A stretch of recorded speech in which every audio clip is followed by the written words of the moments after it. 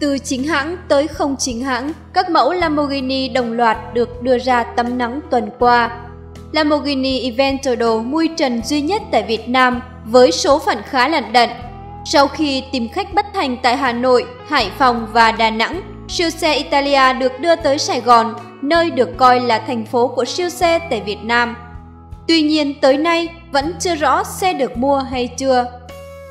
Gần đây nhất, chiếc xe được doanh nhân quốc cường tức cường đô la thử tài với màn Nepo. Trước đó, Phan Thành cũng từng thử bứt tốc cùng Lamborghini Aventador mui trần nhưng mẫu xe này không xuất hiện trong gara nhà anh. Chiếc Lamborghini Aventador màu vàng nay đã được dán decal màu trắng để tái xuất trên đường phố. Dán decal hiện nay đã trở thành một trong những thú chơi thường xuyên của các đại gia sở hữu siêu xe. Cách thức này như một lần thay áo để làm mới xế hộp. Lamborghini Huracan của Cường Đô La cũng góp mặt trên đường phố với màu vàng đặc trưng. Chiếc xe mang biển số tứ quý 8 với ý nghĩa lộc phát.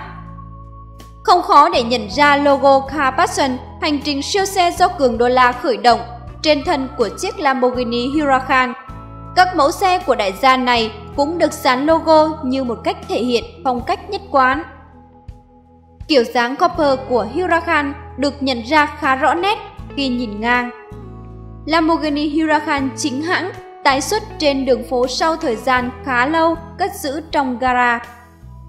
Đây là một trong những siêu xe chính hãng đầu tiên tại Việt Nam.